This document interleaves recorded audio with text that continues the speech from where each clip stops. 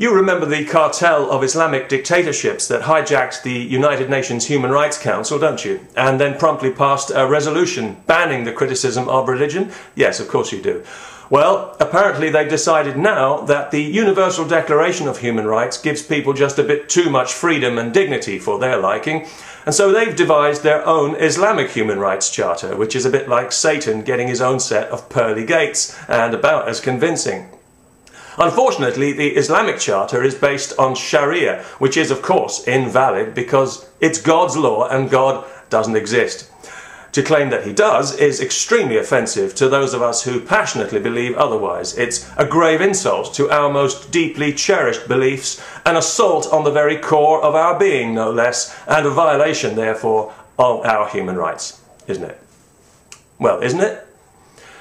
Now, all this would be something of a tiresome joke if not for the fact that this nonsense is beginning to have a real effect on our basic freedoms, certainly here in Europe, and Americans would do well to wake up and pay attention to what's going on.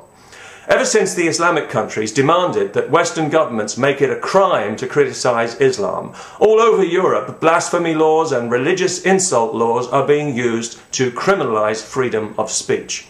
The latest is Ireland, a country that has been literally raped by religion, yet has passed a law protecting it from criticism. Talk about Stockholm Syndrome. Free speech, they tell us, carries certain responsibilities. Well, too true it does. The most primary one being that what you say should be the truth, and the truth should never be embarrassing, and it should never be illegal. And any government that's so embarrassed by the truth that it makes it illegal is governing under false pretenses.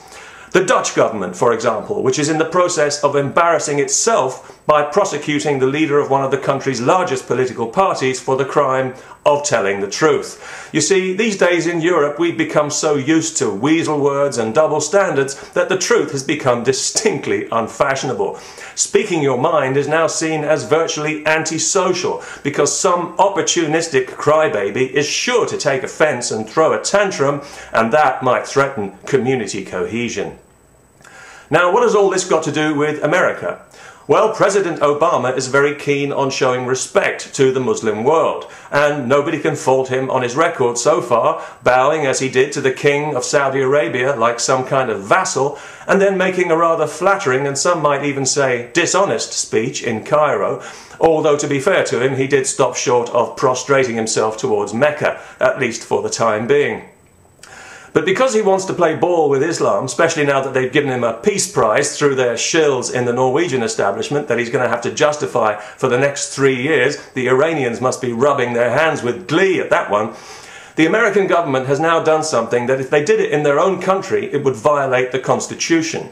They have co-sponsored a UN resolution that puts a limit on freedom of speech because the Islamic countries don't like free speech. They don't like free anything except free foreign aid, obviously. They can't get enough of that.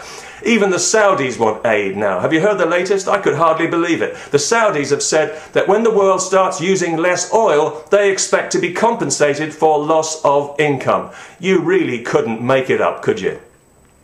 Now, the problem with the new touchy-feely American administration is not that they want to be friendly and respectful towards everyone. That's very laudable.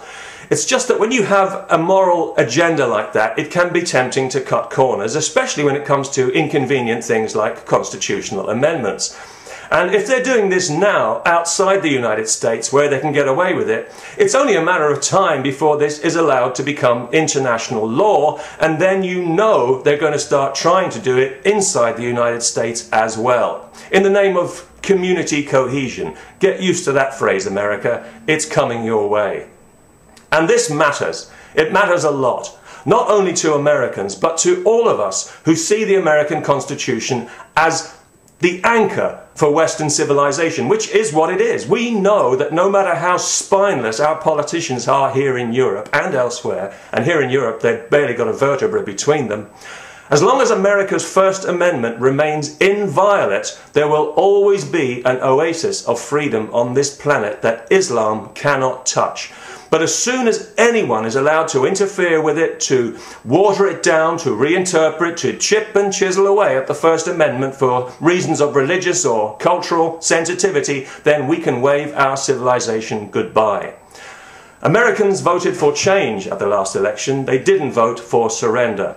Watch what's happening in Europe, America. Cherish that constitution and don't let Islam anywhere near it for all our sakes. Remember the words of Mr. Omar Ahmed, co-founder of the Council on American Islamic Relations, who said that Islam is not in America to be equal to other faiths, but to become dominant, and that the Quran should be the highest authority in America. That would be higher than the Constitution then, by my reckoning. You know, if President Obama is serious about showing respect to the Muslim world, then he should pay them the compliment of telling them the truth, that their religion is entitled to as much respect as it gives. Zero. And that with their record, no Islamic country has any business even holding an opinion on human rights, let alone serving on a legislative body, that asking the people of the free world to compromise their fundamental values is far, far more insulting than any set of cartoons or any book could ever be, and that if the Islamic countries had an ounce of genuine honour between them, they would issue a full and unconditional apology. That's what he should say, because that's the truth. Everyone in the free world knows it's the truth, so let's hope the truth becomes fashionable again before too long. Peace.